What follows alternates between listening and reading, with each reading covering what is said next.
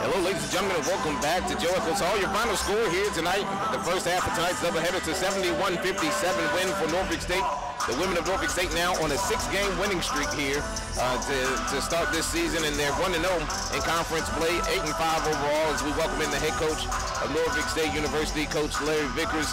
Uh, 71-57. Uh, you like the you like the end result, but there's some things we need to clean up in the in the middle of the ball game, including the 22 turnovers. Yeah, I felt like we were pressing a little bit um, throughout the first half and the second half. Uh, I thought our main thing was we didn't we didn't do what we normally do, and that's buckle down on defense. Um, we, we gave Lucas a lot of good looks, and even though you know she only had 10 points in the second half, we just got to do a better job defensively. Coach, uh, they normally they average about 53, 57 of those points came on the board tonight, and uh, we held their starters. The starters are the only players that scored tonight. That no points off the bench, but a couple of things we did that we've normally done in the in this, as the season has gone along. We've done a better job closing out the shooters and also staying in front of our ball handlers. um, I mean, that was a loaded question. Uh, yeah. I mean, it was. I just feel like tonight, um, tonight I felt like we were pressing a little bit. Uh, you know, for us, we talked about seven to five is over. We're, we're, one and zero. Our win streak is at one game, um, and so I felt like today we were pressing. We were trying to prove to everybody that hey, Norfolk State kind of can, can, can live up to the hype. And I just felt like we were pressing. I felt like that's where our 22 turnovers came from. And I think one big thing, if you look at it, they, they scored 19 points in the second and third quarter. Defensively, we played better in the fourth quarter. Yeah. They only had eight points. Yeah, I felt like um, in the second, third quarter, like like you said, um, we weren't really closing out. We weren't rotating. We weren't in our gaps. Uh, we weren't making anybody's life difficult. It was kind of like a, all right, well, let me see what you can do kind of defense. But um, I felt like we buckled down in the beginning of the third. The press kind of changed our pace.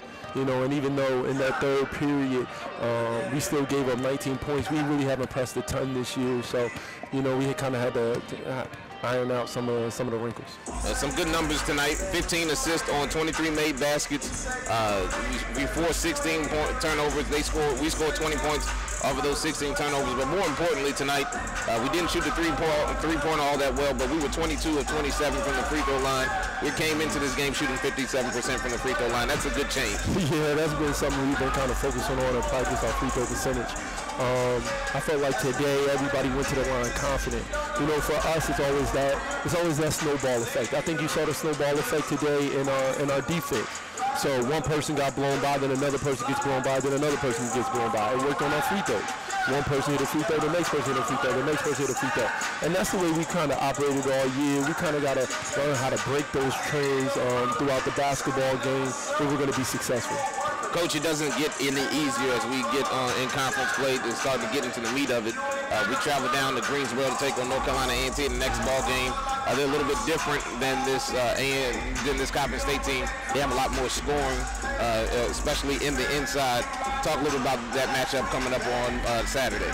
Well, A&T is a really good basketball program. I know when I took over this program, uh, that was one of the programs that we kind of set in our sights. So you know, A&T, Hampton is, Bethune, you know, it's a, a, bunch of other ones that I didn't name you. Don't say I disrespect you, but A&T was one of those programs we were looking at. So we're definitely not going to look past them. We know this is going to be a huge basketball game for us playing on the road. It'll be my first time ever um, there as a head coach, so I'm excited about that.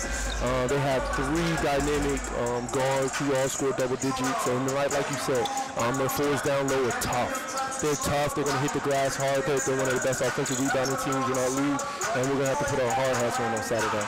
Coach, uh, congratulations. Uh, short-handed with a 71-57 win over Coppin State to improve to 8-5 overall, 1-0 in conference play. Congratulations. Uh, starting off the conference season well with the Vickers. Hey, thank you. Hey, well, that's Coach Larry Vickers. We'll come back after this break to wrap up the women's game tonight. The Spartans win 71-57. You're listening to NSU basketball on the NSU Sports Network. Go Spartans.